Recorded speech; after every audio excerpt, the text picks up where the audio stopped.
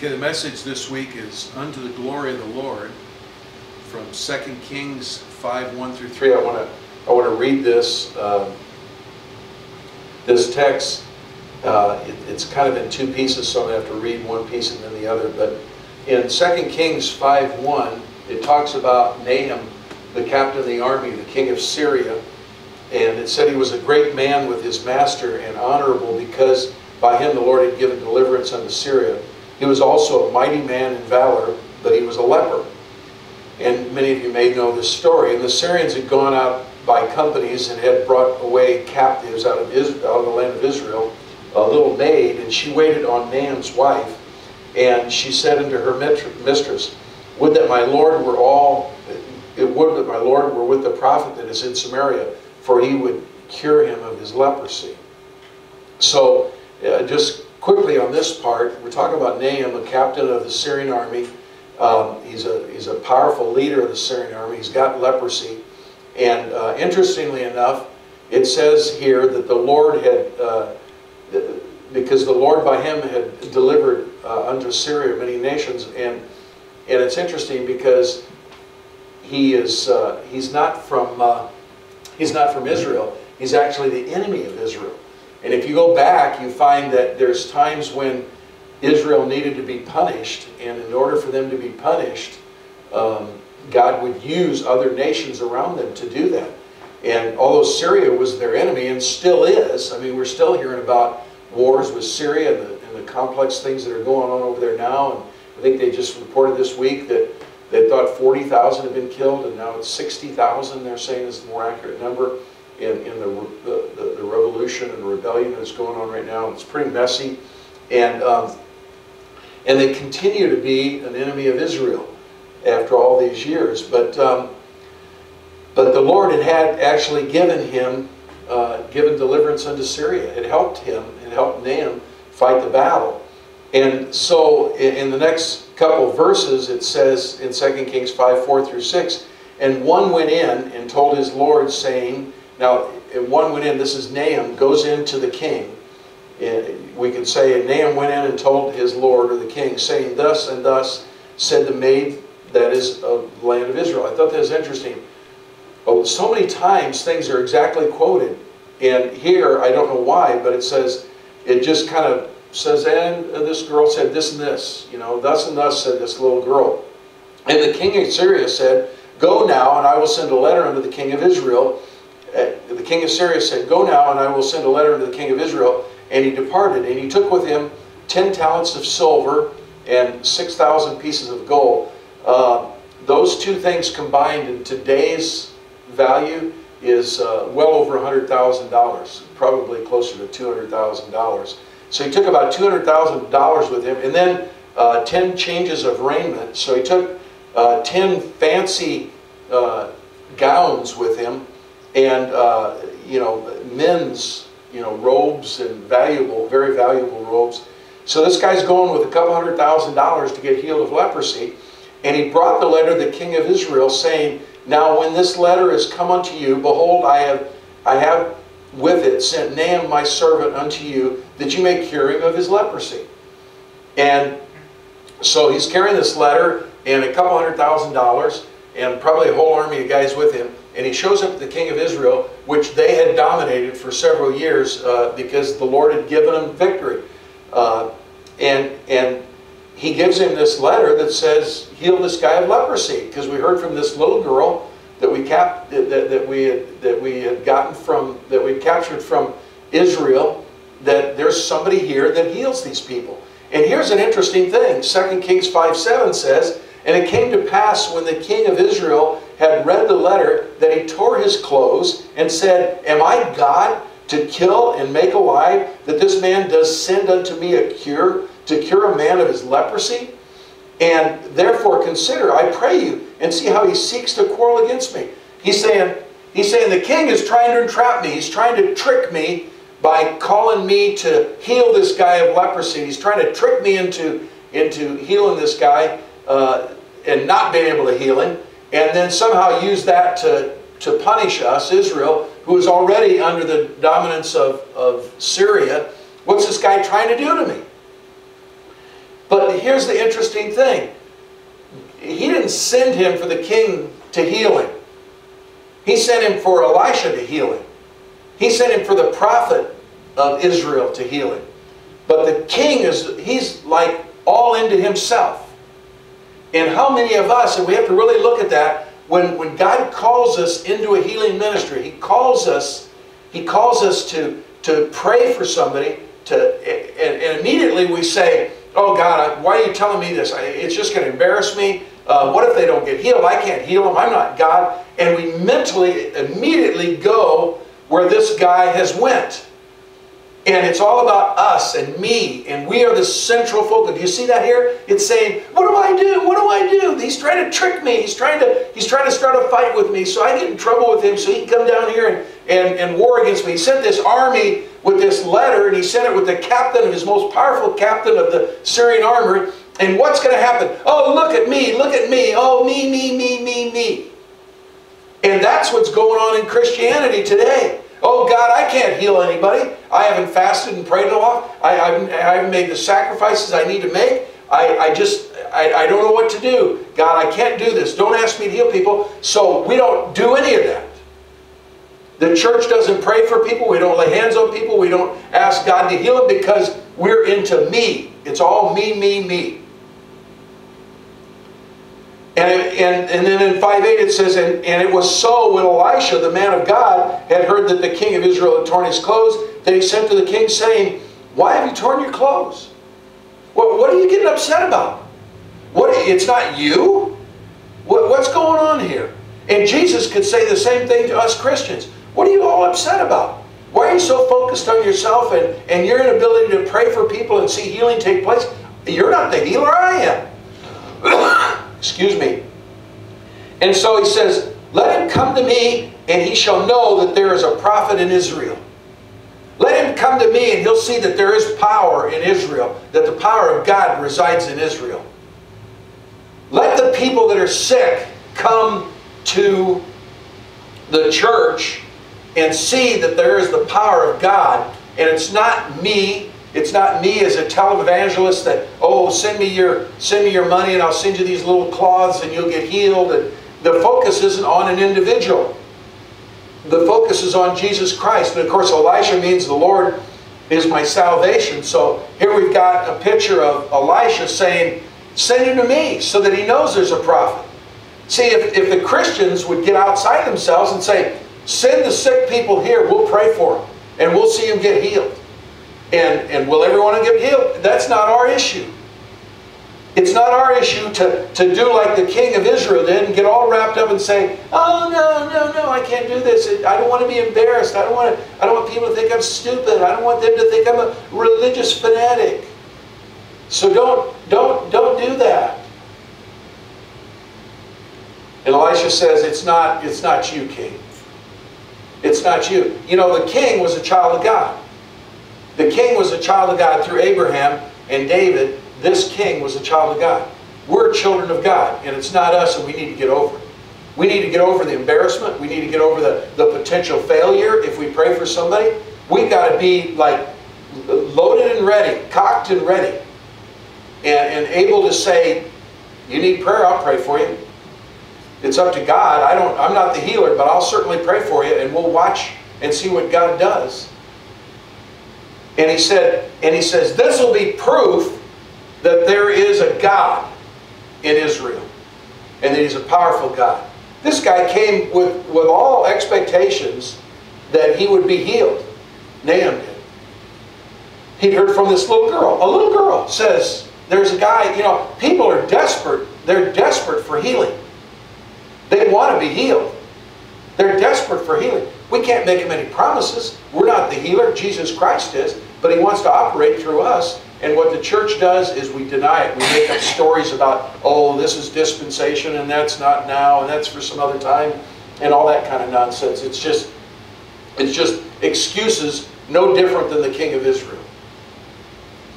Mark 16, 20 says, and this is about the church, and they went forth and preached everywhere, the Lord working with them and confirming the word with signs following. This is the church. The church is supposed to go forth, preach, and pray for people, so that the signs will confirm that what the message is that we have about Jesus Christ is real. You know why there's all this doubt and unbelief in the world now in the United States? Is because the church isn't the church. The church is trying to be a country club. The, the church is trying to be a, a psychoanalyst. The church is trying to fix people's problems. But not trying to heal and not trying to cast out demons, not doing what we were called to do but doing something that's more politically correct, something that's more acceptable, because we don't want the rejection. We don't want people talking about us and saying that we're funny, weird people. Well, Elisha was a funny, weird person. When he first got the, the, the robe of Elijah, he, he went into the city and he, he prayed that the water would be, uh, would, would, be pure and, and, and he prayed and the water changed and everybody was healthy and whole and, and uh, the water was super and they could build a city around it. And, and everything changed. He threw some salt in the water. I don't know why that affected it, but the wells all cleared up. And then these young boys came and said, Hey, Baldy, Baldy, when you going up?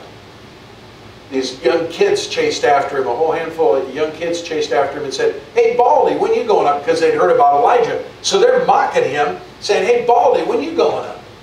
Elijah went up, now when are you going up?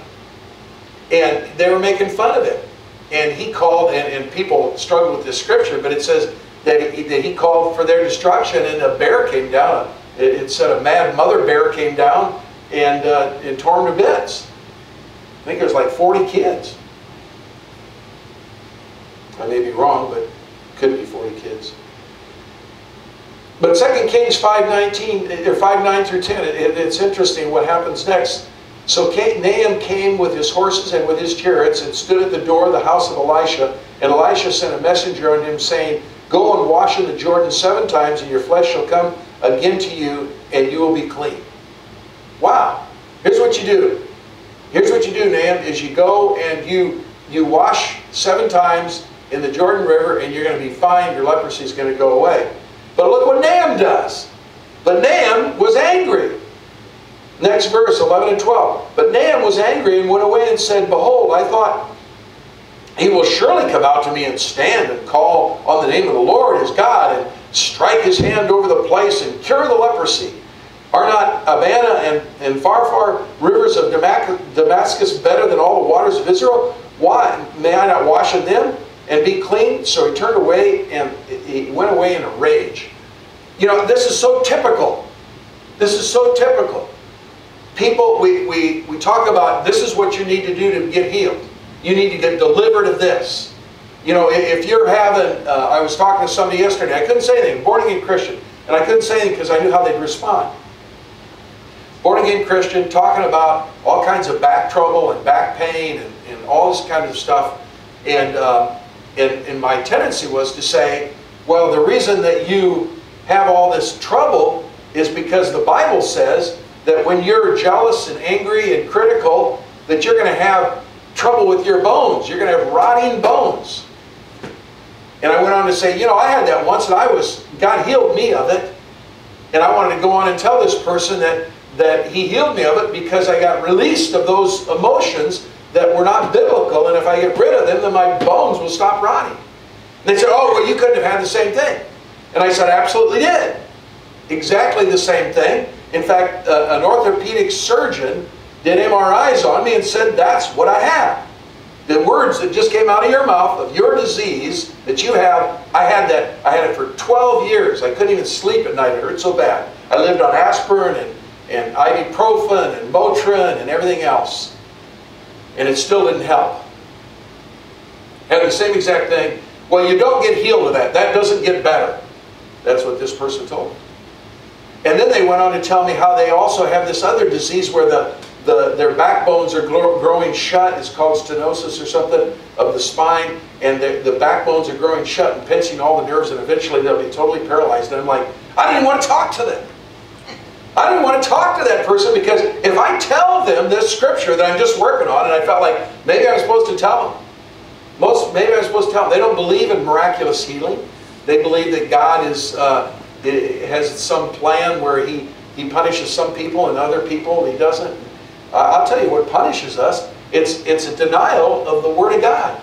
he says that these emotions, these feelings that you harbor inside of you are causing your disease. And if you get rid of them, then you get rid of them. And so Nahum is told by the prophet Elisha, go down and wash in the Jordan River. And you know what he says? My rivers are better than your rivers. Right away, we hit the point of Nahum's problem. Why does he have leprosy? Because he thinks he's better than everybody else. He's got leprosy, but he's a darn good captain. And, and he reports right to the king. He's not even a general, but he's a captain of the army, and he reports right to the king. And the king sent him here. And this guy to come out, this guy, this old rough, raggedy, dusty, dirty, bald guy ought to come out and wave his hand or do something because I'm important. I'm important and he should do something, something demonstrative that everybody can see. And he tells me to go take a bath. Not just take a bath, take seven baths. Well, all my army's watching. And I'm supposed to go in this river, I'm supposed to dunk in this river, seven times, I'm going to come out with leprosy and I'm going to lose all my credibility with my army. I mean, these are the thoughts this guy must be thinking. I'm not going to do that. I can take a bath back when back in Damascus. What am I taking a bath here for? He's probably thinking I'm taking a lot of baths trying to wash this leprosy away and it's not gone away. Why is this going to work? See, and we can pinpoint to Christians and say, here's your biblical problem. Here's why you have the issues that you have because you've got these things that you won't let go of. You won't identify them as a real problem in your life and then attack them and get rid of them. You won't do that. You harbor them. Well, that's me. You know, this person had this unique back problem. No, it was exactly the same back problem I had. Well, you probably just went to a doctor and they, they assumed that you had that. No, I went to a, a, an orthopedic surgeon and he told me what the chances of, of him fixing it were, and I decided not to do it. Because he went through this lineage. He read me this thing, before we operate on your back, this is what I have to tell you. There's a possibility that I'll do this operation and it won't help you. There's a possibility I'll do this, and he's going like 25% possibility that I'll do this operation and it won't improve your situation at all. 25% uh, possibility that I'll that I'll do this uh, this this operation and you'll get worse. And there's a 25% chance that, that, that you won't even be able to walk when I'm done with it. And then there's this 1% chance or 10% chance or whatever it is that you die of the anesthesia and you don't even come out of the thing and you're dead. And I said, hmm, I think I can put up with my back problems given the odds that you're presenting me. I get better odds in the casino that I'm getting from this doctor who's a specialist at it. And he's, and he's probably in his 60s at the time. I mean, he'd been doing it for many, many years. And he knew his stuff. I could tell you his name. I won't. He's retired now. But I said, no, I'm not doing it. And I never knew that God was going to heal me. And a few years later, God completely healed me of it. And it went away. I've never had it since. It tries to come back a little once in a while. I don't. I just don't like it. Like when I'm shoveling snow or something like that. I, get out of here. I don't want this. I don't want rotting of the bones. But you can't tell the church that. You can't tell people that because they're like Nahum. They get angry. He had a rage. He yelled. And, and what's interesting is when he when he raged, you're going to see in a minute that his servant went to him and talked to him. And it just blows my mind that the servant he had the guts to go and talk to him when he's ranting and raving and said, let's go home. Why did I even come to this stupid place? He's probably thinking, I'm going to go back and get in the face of that little girl that told me this crud. But in Isaiah 55, 8 and 9, Jesus, or God said this, He says, For my thoughts are not your thoughts, neither are your ways my ways, says the Lord. For as, for as the heavens are higher than the earth, so are my ways higher than your ways, and my thoughts than your thoughts. God said, I'll do things my way. I'm the commander of this whole thing. Elisha said, you want to get healed? This is what you do. The Lord spoke to me, and this is what I'm supposed to do. the Lord told me to come out and make some big fall around, wave my hands over you, then that's what I do. But the Lord told me to have you go dunk in the Jordan River seven times. Go do that and you'll be healed. See, we can't say that. The church can't say that. Number one, we, we aren't really good at knowing what the Bible says anyhow. I mean, I've talked about the, the you know, the jealousy and, and these emotions, these bad critical emotions that we have cause rotting of the bones cause rotting of the bones. Does anybody know where that is? Proverbs? That's probably pretty close. We know it's there, but how well do we know it? And if that's one that everybody knows, because everybody knows somebody that's jealous and you think, ah, their bones are going to rot. You know, it, it's, we all know that text verbatim, but we don't know where it is probably. Well, how can we tell these people what their, their problems are if we can't address them? Even Jesus asked the, the he asked the, the, the demons to tell him their names. Who are you? I'm Legion. You know, if we get in a place where we can walk up to somebody and says, oh, I got this problem or that, I'd probably say, okay, demon, who's in there and what you doing to these people? And the demon would speak back. We're not there. But these are, these are some things to aspire to. These are some directions to go towards. There's some good books. We've talked about Henry Wright. We've talked about, there's some good books out there that, that go into detail of, of his research. Kind of almost, I don't want to call it scientific research, but his, his careful research of the Word of God to determine what links uh, various diseases to different things. That'd be a place to start. Got rid of my heart issues. Got me healed on a weekend. On a weekend from from uh, an almost closed artery needing a stent to you're fine, you can go home. Off the operating table. Later to have the doctor say, I think you received a miracle. You received a healing, is his, his words. And he's not, he's not, as far as I know, he's not a born-again Christian. But God's thoughts are way above our thoughts. And we're trying to reason. We're trying to reason just like man. This doesn't make any sense. I can take a bath in him. In fact, Jordan isn't that clean. He's reasoning instead of obeying. Instead of acting on what the Word of God says, he's rationalizing it, and he's going to keep his disease. But he lucks out, and he has a servant that'll stand up to him. And in 2 Kings 5, 13 through 14, it says, 2 Kings uh, 5, 13 through 14, it says, And his servant came near and spoken to him. Now he comes up, he says, this servant has got to have some courage. He's got to be a real friend, and he's got to really be concerned about this guy because he could lose his head over this. And he walks up to, to Nahum, and he, and he speaks to him kind of softly, kind of whispers to him. And he said, My father, if the prophet had bid you to do some great thing, would you have not done it? If he'd asked you to do some incredible thing, would you have not done it? How much rather than when he says to you, wash and be clean, why not give it a shot? Why not give it a shot? And it says, Then he went down and dipped himself seven times in the Jordan, according to the saying of the man of God, and his flesh was restored again, like unto the flesh of a little child, and he was clean.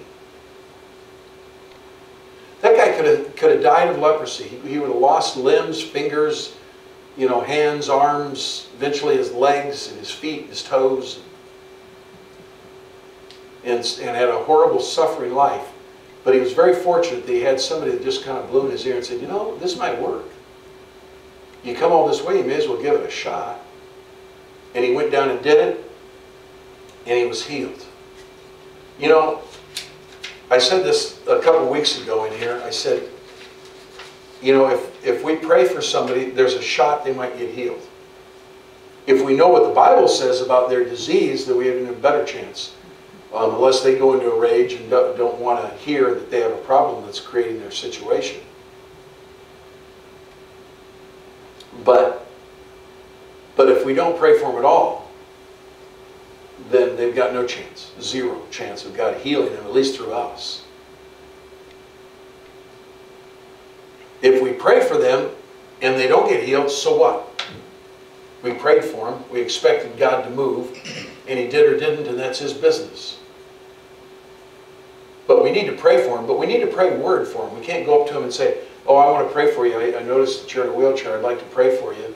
Uh, you know, and you pray some kind of a, now I lay me down to sleep prayer with them, or, oh, give them the courage to, to live through this, uh, you know, being in a wheelchair the rest of their life.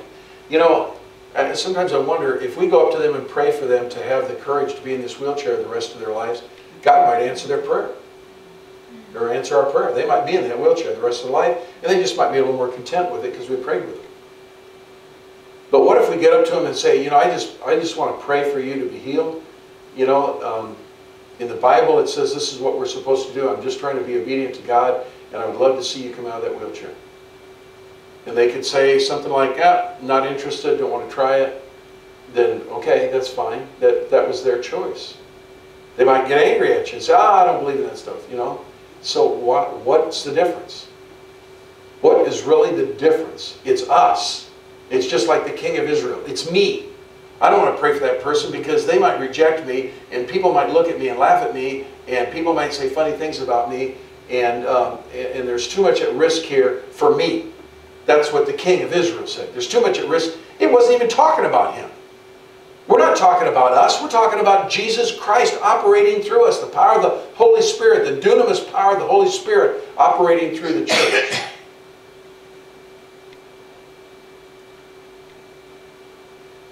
Second Kings 13, 14. I, I, thought this was interesting. This is, this is sometime later. Now Elisha, Elisha had fallen sick of his sickness of which he died, of which he died. And Joash, the king of Israel, came down unto him and wept over his face and said, Oh, my father, my father, the chariot of Israel and the horsemen thereof. And, and this is kind of wrapping it up, but I want you to understand, Joash wasn't a good king. Joash had done some things right. Joash had done some things right. He, he'd started some work to rebuild the temple because it was in it was in disrepair. Um, he did some things right, but he wouldn't get rid of he wouldn't get rid of the the pagan gods that were in his that his father had passed down to him, and he and he wasn't going to do it. And in fact, he had this wonderful he had this wonderful uh, this wonderful Levite priest that that that mentored him as a child. He became king at like seven years old, and he was king for 16 years. But um, this wonderful guy mentored him, but he passed away. His mentor passed away, and his son, the son of the of the mentor, became a, a Levite priest also, and came to Joash and said, "You got to tear down these these altars, man. You got a golden calf, all kinds of bad stuff. You need to stop doing this." And Joash had him killed. Joash had him killed because he came and told him the truth. So Joash isn't, you know, a really good guy. But it's interesting, he knows that Elisha's dying, and he knows enough about the scriptures that he knows that when Elijah was taken up, Elisha cried out, My father, my father, the chariot of Israel and the horsemen thereof. See, there was not a prophet established after Elisha. There was nobody that he handed on to. There was other prophets, but there was no direct uh, baton handoff like between he and Elijah.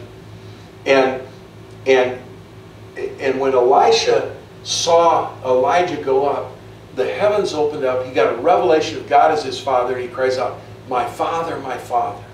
There was a, there was a true heartfelt thing going on.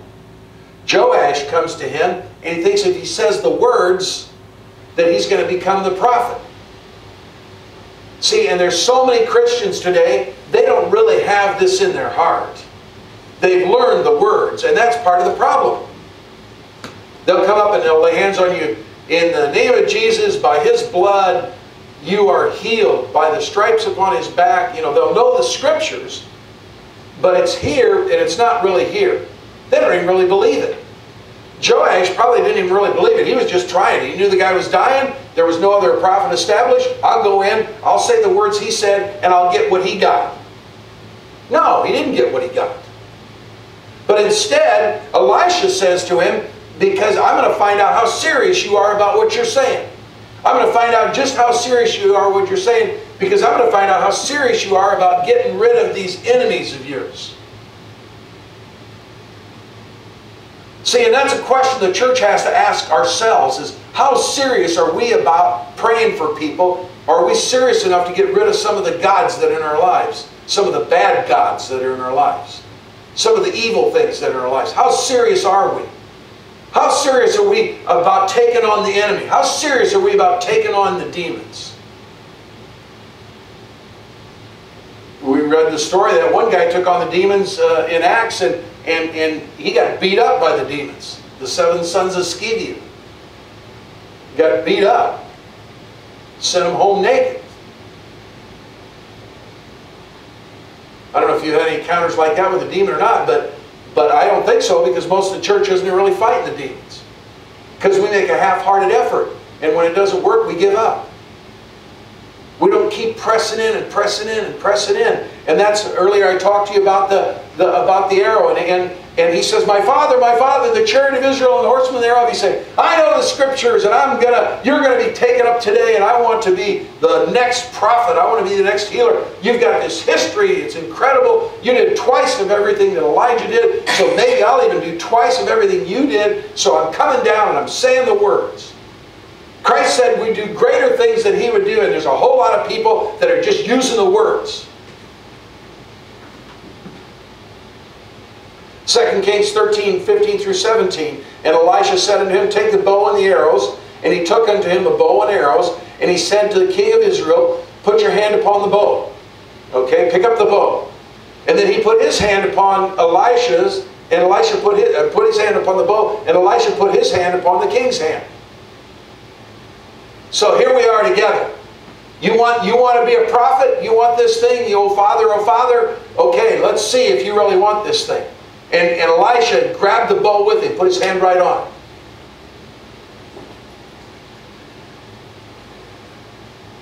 And he said, open the window eastward.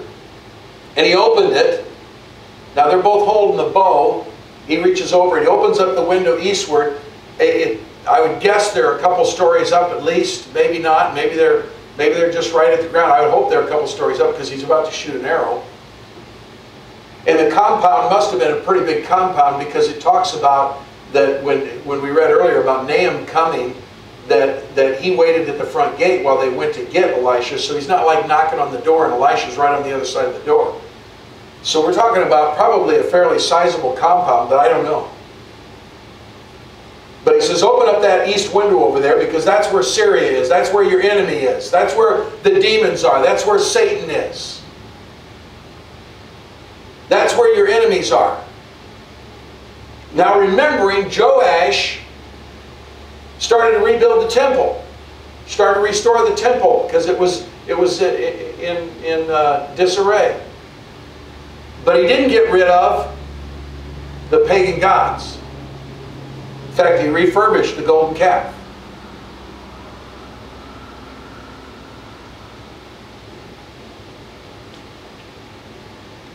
And he said, The arrow of the Lord's deliverance and the arrow of deliverance from Syria, for you shall smite the Syrians in Aphek till you have consumed them. So he says, You want to beat your enemies? You want to beat down the enemies that you've got?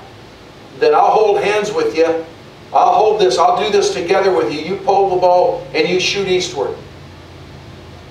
And so he went to that window, and I was talking about it earlier. He goes to that window, and that was the tradition of that day. Is It's kind of a, I'm going to get you. I'm going to follow through with this. Because it would have gone around. The king, everybody known, oh, the king, he just shot an arrow towards Syria. That means we're going to battle. Excuse me. It means we're going to fight. I mean, the word would have spread all over. I just saw the king up there in Elisha's window and he shot an arrow and Elisha's hand was on his hand. Man, we're going to war. This my intent to strike Syria. And then it says in the next breath, and he says, and he said, Take the arrows, and he took them, and he said unto the king of Israel, Strike the ground. Strike the ground. Now I want to I want to explain something I talked a little bit about earlier before we, we started taping, is that that tradition within the church is that he had this quiver of arrows and he took the quiver of arrows and he struck the ground three times. That's what we're going to read in a second. But if you study, if you study the, that, that tradition of shooting the arrow towards your enemy, that what the real thing was is that you shoot the arrow towards your enemy and then based on your anger towards them, your intent towards them, your fervor towards them, your your commitment to following through with it, you shoot more arrows. So when it says strike the ground with the arrows, it's not talking about taking a bundle of arrows and hitting the ground, hitting the dirt. He's probably not even on the ground. He's probably up in a second story or something, looking out the east window. I hope he was, or otherwise when he shot, he might have hit somebody. But um, hopefully he just shot into the air to the east. But the tradition was you take the arrows and you shoot them. You shoot them. You shoot them you shoot them at the ground. And although we've, this, this other idea has crept into the church of beating on them with the quiver of arrows or several arrows in your hand and hit it ground, that's not what it's about. What it's about is how serious are you? You just shot one to the east, now take the other ones and shoot the ground, shoot the ground, shoot the ground, shoot the ground. I'm serious about this. I'm not going to let Satan continue to do this to my family. I'm not going to let Satan continue to disrupt my life. I'm not going to let Satan continue to keep me from receiving a healing. I'm ready to fight. But see, many of us, unfortunately, in the church today, and I'm not necessarily talking about our church, but many of us in the church at large are more like Joash. As we keep a lot of our, our, our pagan gods around, we still worship things we shouldn't worship, and, and they're too important to us. Doesn't mean we have to get rid of them, we just have to quit worshiping them. And he struck three times and stopped. Now here's the interesting thing is Joash knew the tradition. This wasn't something new to him. He knew that his confidence level of being able to beat the Syrians was not really high. He comes in and he says, My father, my father, trying to get Elisha's anointing on him. Because he wants some sort of magic to try and do something because Elisha healed Naaman. Man, if I can do this kind of stuff, I, I'm in cool with everybody and I can, I'm a powerful wizard. And so he tries it with the words. But he says, then how serious are you about it? That's what he's really saying. How serious are you about it? Because you know where it begins? It begins on you winning the battles against the things that continually prevent you from being the Christian you're supposed to be. And how serious are you about fighting those battles? How serious are you about overcoming those things in your life?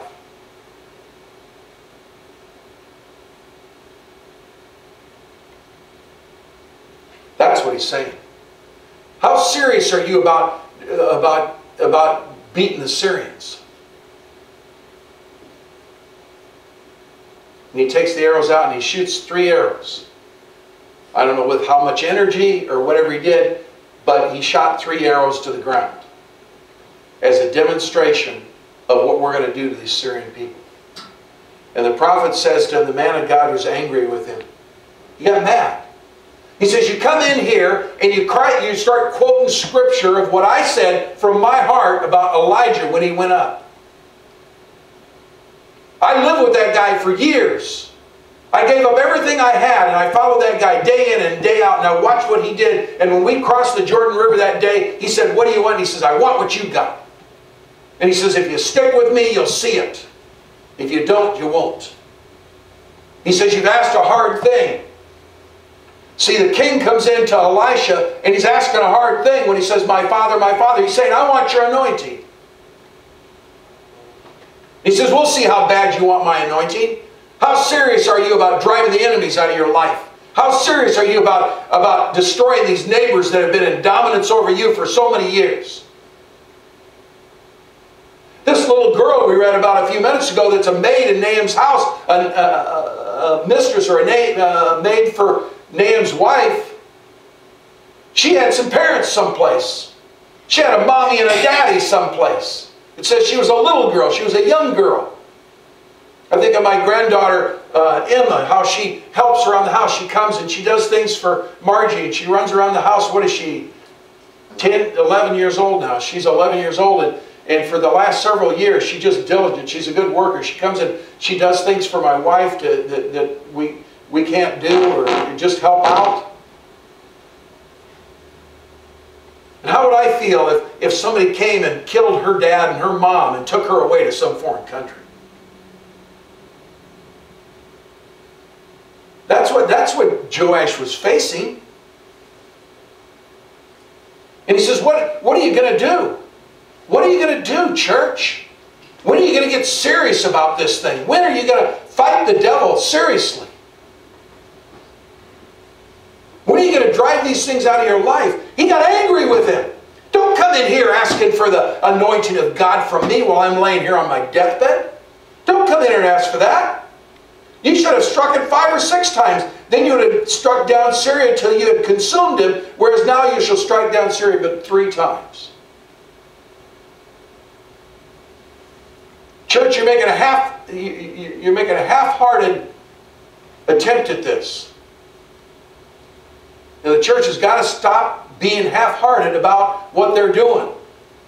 We're losing this nation. We're losing this generation. We're losing these children because we made a half-hearted attempt. And we don't fight against flesh and blood. We don't need to join the, the school board, and I'm nothing against that. We don't need to join some political party. You know what we got to do is we got to fight the devil. We got to start fighting the devil. Our battle is not against flesh and blood, but against principalities and powers in high places. And they're walking all over us.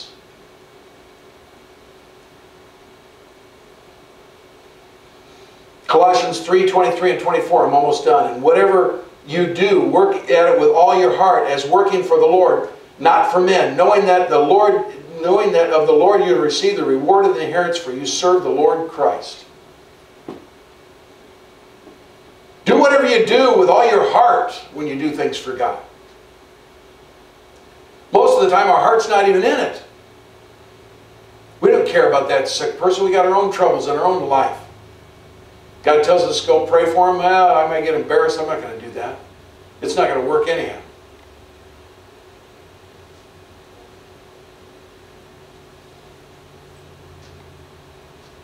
Whatever you do, do it with all your heart. How many Christians are doing Jesus stuff with all their heart?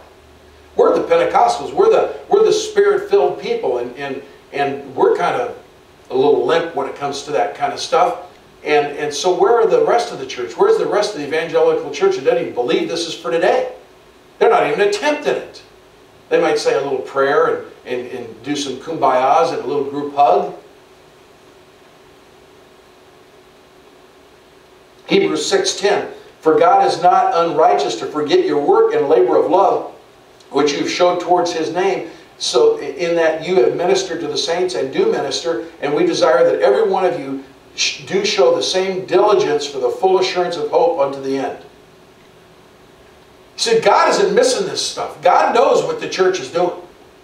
God knows about the, the little pastor in Mozambique that's running from village to village to try and bring people back from the dead and, and, and give them their sight back from blindness to unstop their ears so that their, so that their, uh, their tribe or their village would get saved. He sees that going on. Well, we big Christians in America, you know, we're, we're pretty hot shots. We got big churches. We got all this wonderful praise and worship. We got records and CDs and DVDs and the internet and all this stuff. God doesn't miss this. He looks for this one line that says, Every one of you do show the same diligence to the full assurance of the hope and to the end. How diligent are we? How diligent, and I include myself. How diligent are we? John 14, 12. Verily, verily, I say to you, you know, this scripture.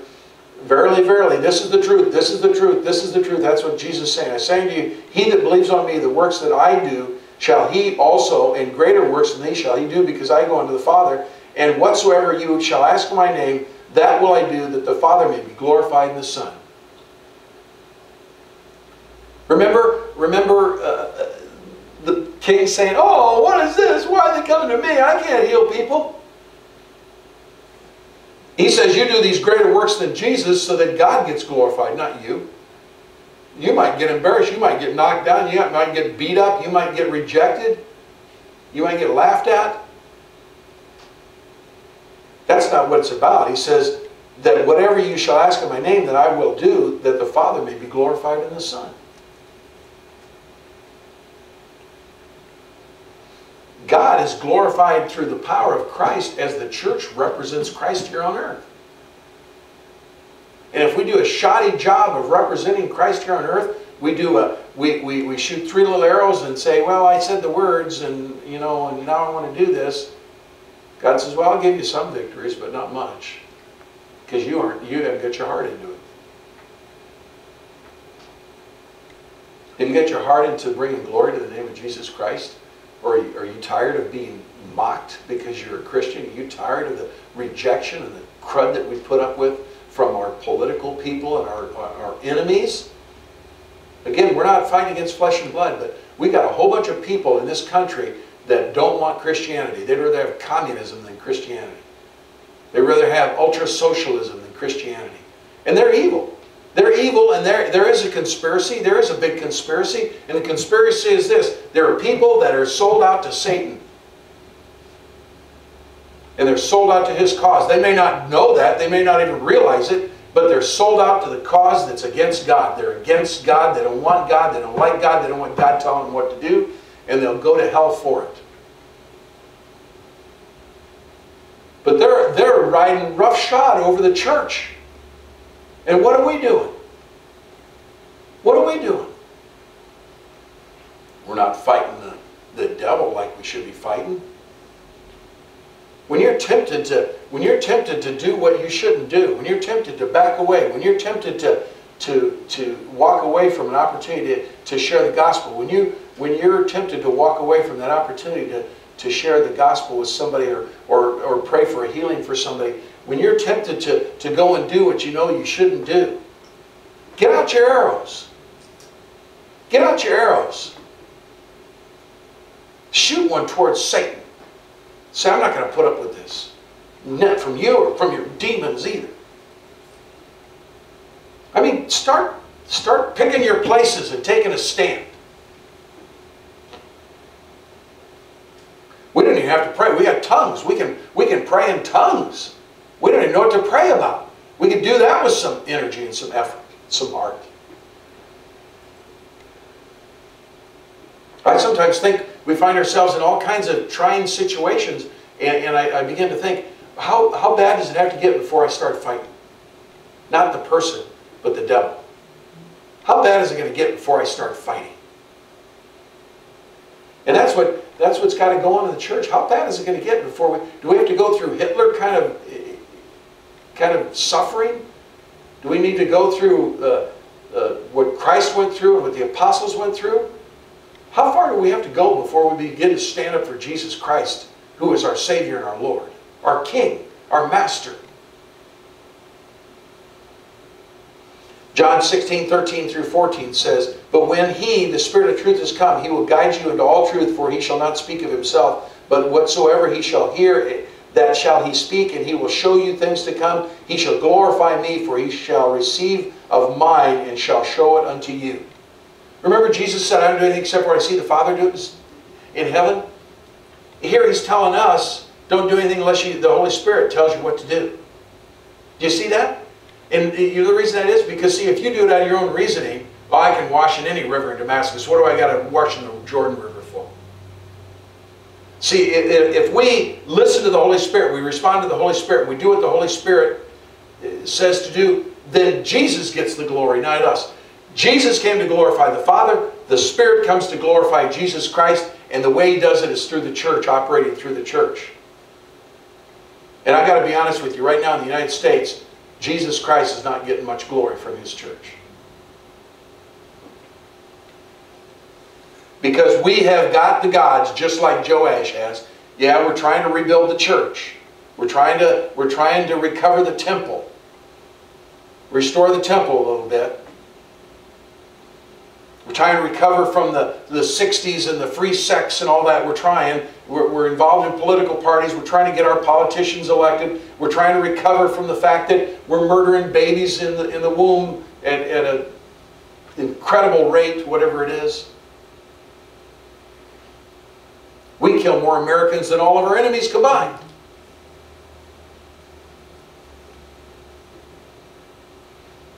When are we going to start fighting that stuff?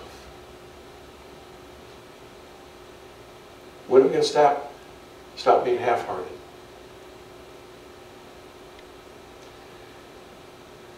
This is my job.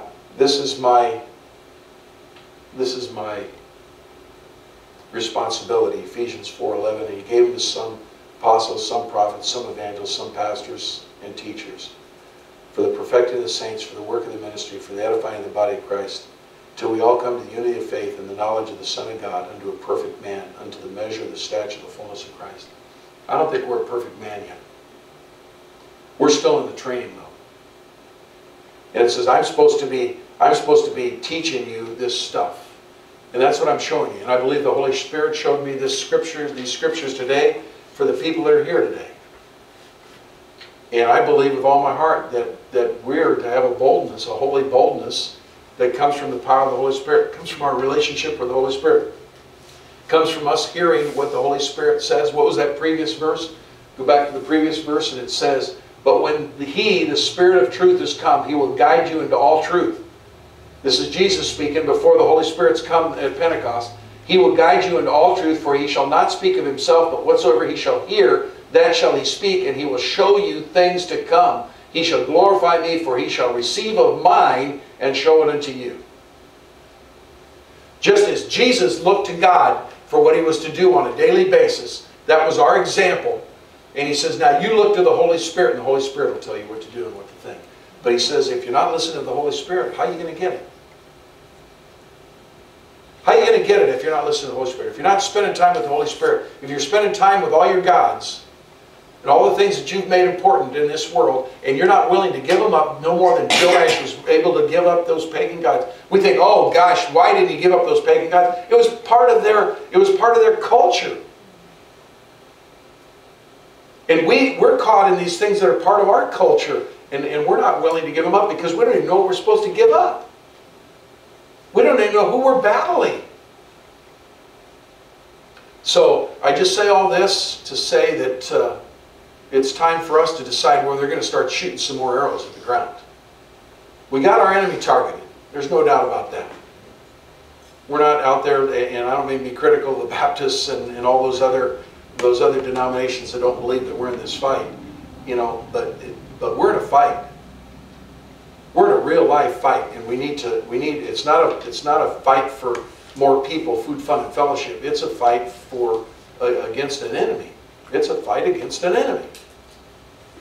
Father God, I praise you and I thank you and I give you the glory for you're worthy of all praise and honor, and we worship you and thank you in the name of Jesus Christ that you, by the power of your Holy Spirit, will continue to input into this church, this church, this, this group of people here, that you will continue to put into us that desire, Father God, to be more than we are, to be more of what you are and less of what we are. Father, we praise you and give you the glory in Jesus Christ's name. Amen. Amen.